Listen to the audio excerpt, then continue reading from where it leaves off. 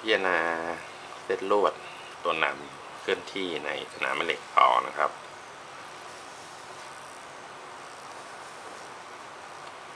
เส้นลวดตัวนำเคลื่อนที่ในสนามแม่เหล็กนะครับ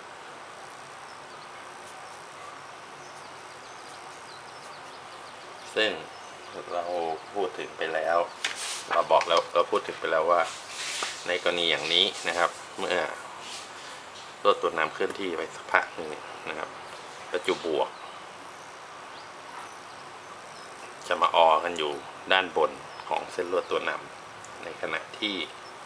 ประจุลบนะครับ จะอออยู่ด้านล่าง ซึ่งทำให้เกิดสนามไฟฟ้าเกิดขึ้นนะมีสนามไฟฟ้าชี้จาก ด้านบวกไปด้านลบนะครับ การที่มีสนามไฟฟ้าชี้จากด้านบวกไปด้านลบนี้ก็หมายถึงว่ามันจะก่อให้เกิดแรงคลื่นไฟฟ้า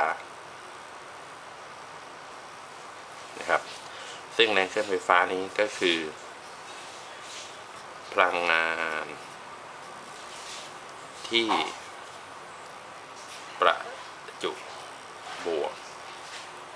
นะครับ จะได้รับนะครับ พลังงานจนเน้นเน้นนะครับ พลังงานจน ที่ประจุบวกจะได้รับ เมื่อ เคลื่อนที่ จาก บวก ฝั่งบวกไปลบนะครับ ทีนี้ค่า แรงเคลื่อนไฟฟ้านี้จะมีค่าเท่ากับเท่าไหร่นะครับ เราสามารถคำนวณตรงนี้ได้นะครับว่าอันนี้จากในภาวะสมดุลนะบอกว่า ในภาวะสมดุลนะครับเอ่อผล จาก แรง แม่เหล็ก จะเท่ากับ ผลจากแรงไฟฟ้านะครับ ถามว่าตรงนี้หมายความว่าอะไร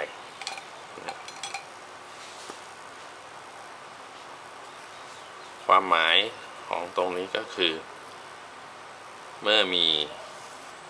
เส้นลวดตัวนำนะฮะเคลื่อนที่อยู่ในสนามแม่เหล็ก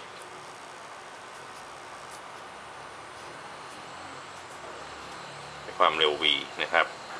แล้วมีประจุบวกไปอออยู่ด้านบน และมีประจุลบ ไปอออยู่ด้านล่าง ซึ่งทำให้ มีสนามไฟฟ้า ชี้ลงมาอย่างนี้ ทีนี้ถ้าเราพิจารณาประจุบวกตัวหนึ่งนะครับ ที่อยู่ในลวดตัวนำจะเห็นว่าประจุบวกตัวนี้ก็จะเคลื่อนที่ด้วยความเร็ว v ด้วย นะครับ เพราะฉะนั้น แรงที่เกิดจากสนามแม่เหล็กนะฮะแรงแม่เหล็ก ก็จะมีค่า FB เท่ากับ Q V cross B ช่ไหมครับ ตัวนี้เคลื่อนที่ด้วยความเร็ว v ไปพร้อมกับเส้นลวดตัวนำนะ ในขณะที่ แรงทางไฟฟ้า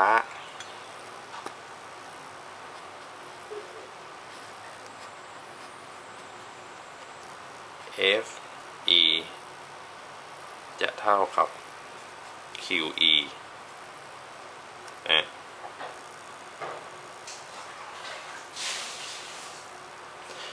ทีนี้ถ้าเราดูนะฮะเราดูทิศของแรงแม่เหล็กนะจะเห็นว่า ทิศของแรงแม่เหล็ก